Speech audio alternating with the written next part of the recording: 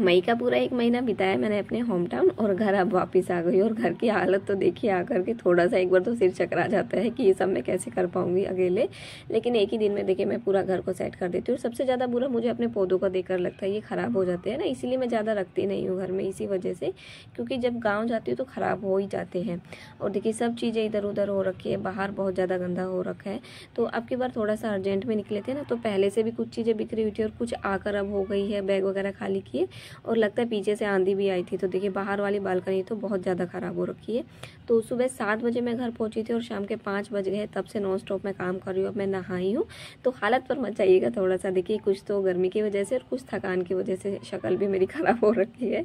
और कपड़ों का काम देखिए, अब मेरा बस रह गया। तो हो दिए है, मैंने सारे बस फोल्ड करना बचा है। तो बेडशीट है, सोफे कवर है, मैट है, सब कुछ मतलब मैं धो देती हूँ आकर। मशीन लगाती हूँ, एक तरफ़ तो एक तरफ़ मेरा काम कपड़ों वाला होता रहता है और एक तरफ़ मेरा क्लीनिंग भी चलता रहता है।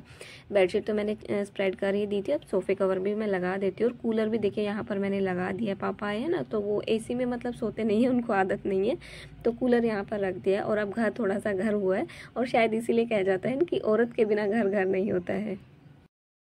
तो आज के वीडियो को करती हूँ फ्रेंड्स, यहीं पर एंड क्योंकि अब मुझे खाना बनाना है। पापा आए हुए ना थोड़ा सा जल्दी मैं बना लेती हूँ, उनको जल्दी खाने की आदत है। और जो काम मेरा कपड़ों का रह गया ना, वो मैं शाम को सोते टाइम कर लूँगी। तो आज मतलब सारा काम मैं फिनिश कर दूँगी।